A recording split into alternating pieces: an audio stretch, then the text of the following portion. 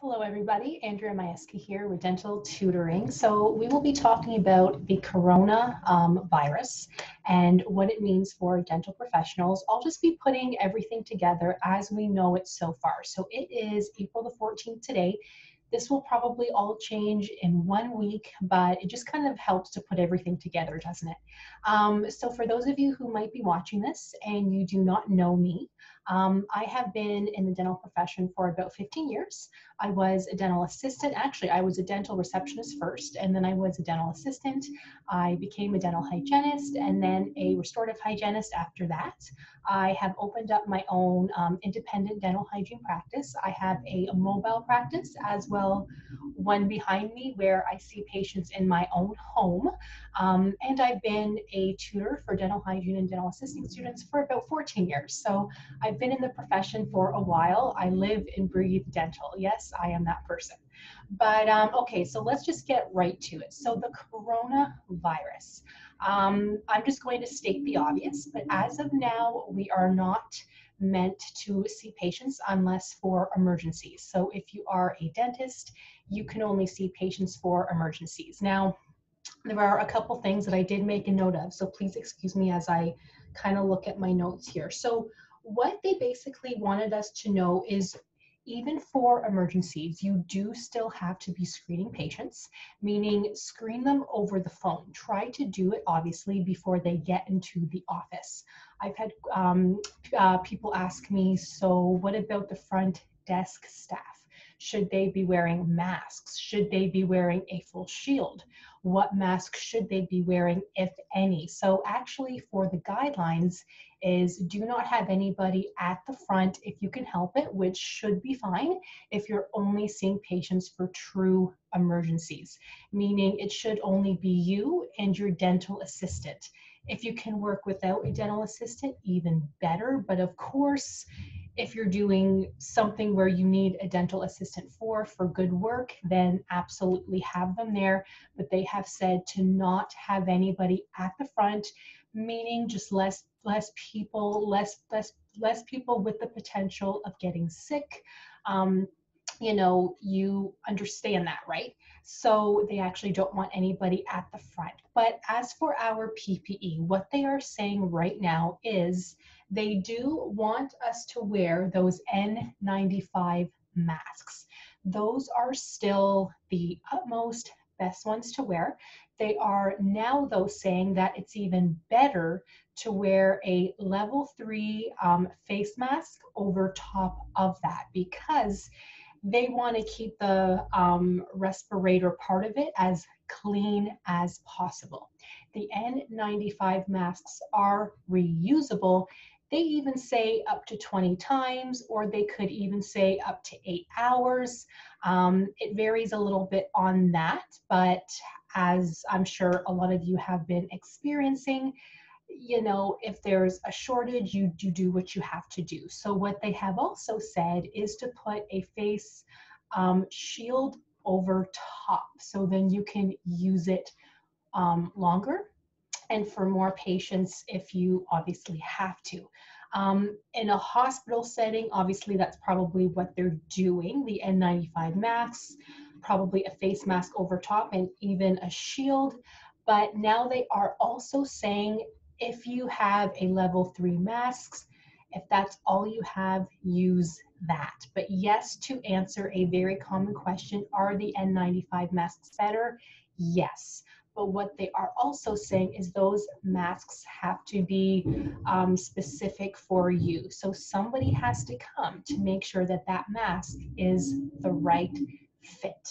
So they need to check you to make sure they are the right fit. If you have lost a lot of weight, if you're if something's changed in your appearance where the mask may not fit properly you might need a different size. So yes the n95 masks are better but they say you, you need to have the proper fit. And for men if you have have like any hair on the face they want you to shave that off completely because it does not allow the mask to fit properly I know, but that's what they say. Um, so, and of course, you guys, they want us to to be wearing those like full on um, disposable um, gowns. Yes, that is still something that they want us to wear. Um, and what people have been asking me is, well, when we can get back to work, what do you think is going to happen? I would personally, I'll purchase a face shield. Um, I can leave the links for you guys on the bottom. I am hoping um, more dental companies come up with more of these because I have tried to order some and they are sold out everywhere from what I have found. So I was able to order some from Amazon. So I'm going to keep those. And then when they get more available, then I will be be ordering from an actual dental company. But how I see it is when we can start working, I want to be able to work. So if it's going to be you can work now, but you have to have the N95 mask, you have to have a level three mask, you have to have a face shield. I want to make sure that I have all of that. Um, so I am going to Amazon to purchase those. As I said, you guys, I will leave the links for you on the bottom. Um, so that's what I would personally do. I would personally buy a bunch of N95 masks and make sure you have those level three masks, which nobody has right now because they are being sent to hospitals and of course to those um, emergency dental offices that are working, but something to keep in mind. Those caps to wear over our hair, they have also talked about that as well.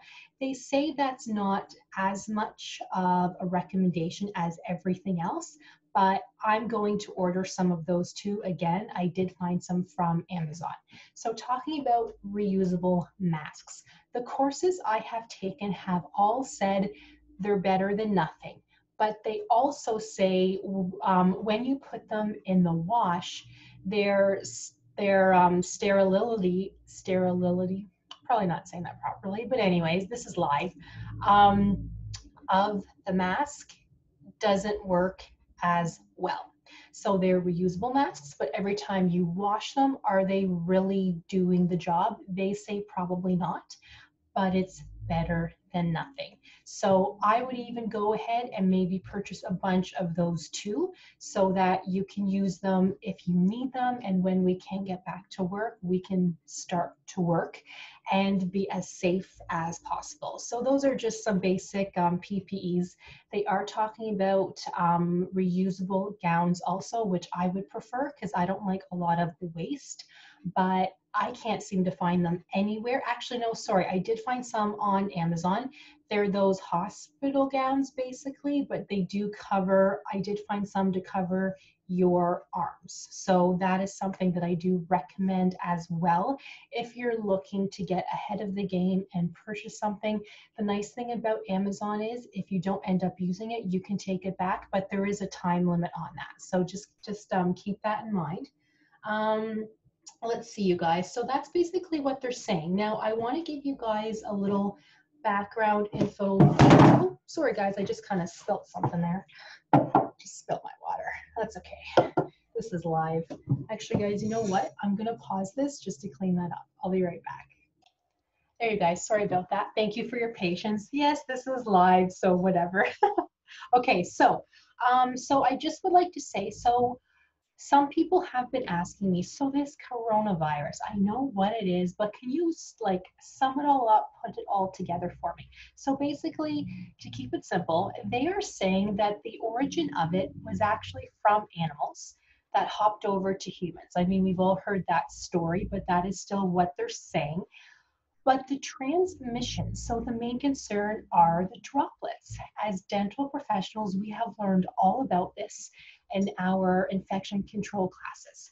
There are aerosols and there are droplets, but that's the main concern about the coronavirus, which is why we're on lockdown, which is which is why many services are canceled. We are on lockdown because if you cough, if you sneeze, um, that's how these things get spread and you could have the coronavirus and not know it. So even if you feel perfectly fine or you just kind of feel tired, you just feel under the weather a little bit, but you don't think you're, you know, it's nothing special, you go on with your regular day, you could have the coronavirus. So that is why everything is on lockdown. and it can land on surfaces. So packages, food packages, our countertops, our cell phones, you know, it can land on surfaces and stay there. So I had to make a note of this. It is two to three hours airborne. That's what they're saying. Um, and, and it can last to two days on most surfaces with cardboard being one day. So Amazon, our shipping boxes, what I have been doing if I am ordering from Amazon, I will literally keep the box inside in the hall, but I don't touch it for two days. Yes, it says cardboard for one day, but since the Amazon person was handling it, I'm going to leave it there for a full two days, 48 hours. That's what I'm doing. I know it may sound silly, but that's what I'm doing.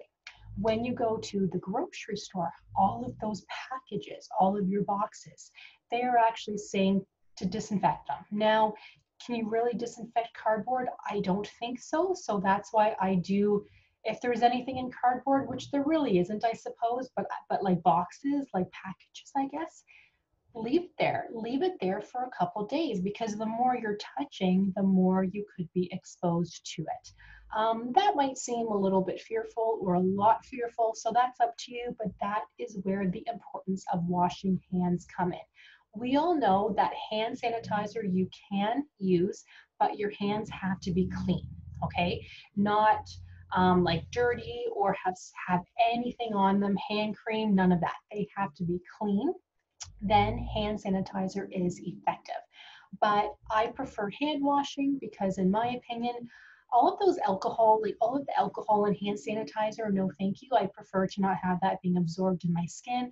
But if I am outside somewhere, going to the store or whatever, I do have my hand sanitizer with me because you can't have soap and water. So just some food for thought there. Um, so I wanted to mention that.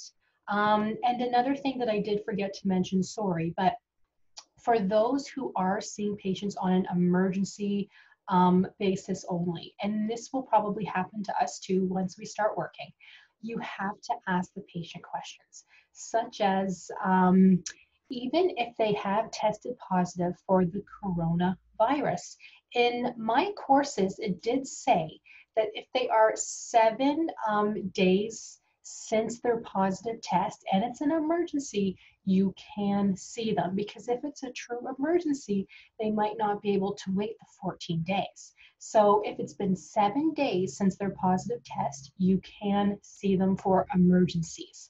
Um, and since they're, if they did feel sick, but now they feel better, they are saying to wait three days since that. So if you're talking to your patient over the phone and they say, Well, I'm pretty sure I don't have the coronavirus because, yes, I was sick a week ago, but I feel fine now. Okay, that is fine.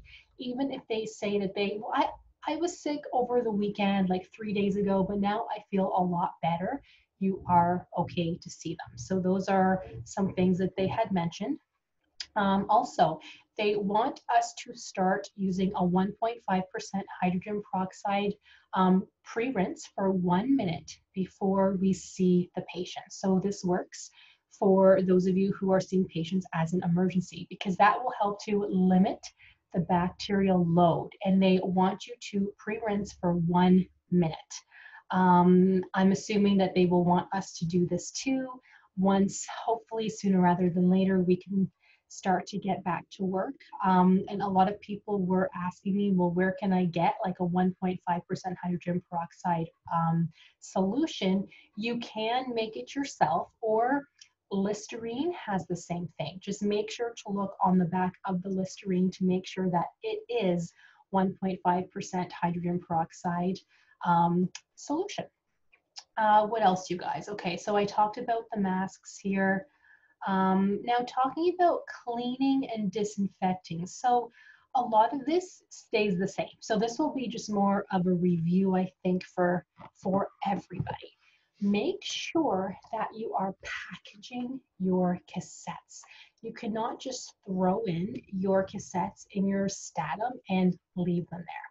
You need to make sure that um, rack that comes with your Statims, they need to fit inside that rack. Um, with those larger ones, obviously you, you don't have those individual racks per se, um, but if you do have them, that means that those cassettes need to be fitting in there and make sure they are packaged with internal indicators and external indicators because remember, those indicators only tell us if the Statim, if the sterilizer has reached a certain temperature. You also need to do a spore test. There has been talk that doing it every single load is ideal, not just once per day, not just once per whatever, but for every single load, makes sense. Um, in my own practice, that's what I do anyway, um, because usually if I'm doing a load, it is just that one load anyway. because um, I don't see like 20, 30 patients every single day. I see maybe five patients every single day. So I will do a spore test for every single load. Make sure to document, which I'm sure everybody's doing that now anyways, right? But make sure to write down the type of sterilizer, the um, temperature that it has reached. Obviously, if it's passed or, or not, which it has, right? Um, the type of indicators you have used, exactly what was in that load, meaning three cassettes and four pouches of instruments, or three cassettes and four pouches of hand mirrors, you know, whatever. Write that down. Um, and initial and make sure to write down the time and the date on your um, on that paper when it goes in and when it comes out. On your pouches initial you want to write the date and the load number. If you have more than one sterilizer make sure to write down the type of sterilizer because if something doesn't pass you need to know how and why and what happened. Um, if it doesn't pass, I do have another video on that that I can talk about for you, but it's not as simple as saying, okay, well, let's just try it again, okay? There will be steps to follow. Um, and of course, in your lab um, area, make sure to have a, a dirty area and a clean area so that you can keep everything separate after a procedure, you can't just let the instruments sit there. They say to pre-soak them to make sure to get everything off. Um, to manually clean the, the um, um, instruments, they don't like that, but it's still allowed to do. Just of course, wear your full PPE because if you're you're you know cleaning the instruments and, and all that stuff is coming up well that's not a very good idea is it? So they will probably start saying that everybody should pre-soak the instruments. Everybody should have an ultrasonic. I'm just guessing that that's what they will happen. Close that lid of the ultrasonic please and thank you. Do not forget that because then all of that is coming up into the air airborne that's dirty right there um, and of course, you guys practice standard precautions. We have been doing this since day one. It's what we have to do. Um, some of the questions that I have been getting have been, well, back in the 1980s, they didn't wear masks, they didn't wear PPE, everybody was fine. Why is everybody going crazy now? Because we have learned a lot more now. We will not be going back to those days, thankfully, where we didn't wear masks, gloves, any of that. And that will never happen again because look, I think our world has changed. PPE has changed. Patients know now all about it. We are more conscious of it. Make sure that, that everything is perfect. Make sure that everything fits. Um, another question is if you wear loupes, what to do? So I do. So what I plan to do is to wear my loupes and then a shield over top. So you would have to find one that fits over top of your loupes. I can't live without them because it just helps me see so much better. Plus I do have a light at the end too. So that's just something that I do need. Um, somebody was actually, a few people were asking me here, um, for um, are they going to allow us to wear lab coats? So I actually have one where it's a full length sleeve um, just because I like to be covered. Um, I do feel that that is something that they will want us to do. Um, a disposable gown, they obviously just cover more, you know, so that's why they want us to wear that now, opposed to just a lab coat. Um, but if you were going to go that way, I'm thinking that they would, would want you to have a new one for every patient. Um, they will no longer want us to be wearing our uniform to work.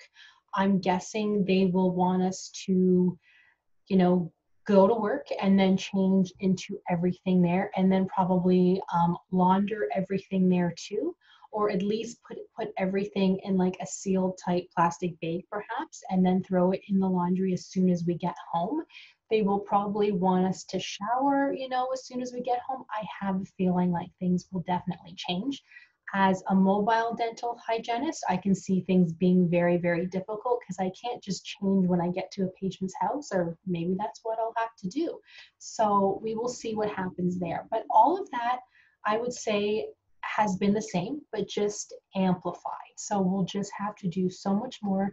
Patients will be asking us questions. So if you guys have any concerns, any questions, please let me know. I do hope that that helped to bring everything together.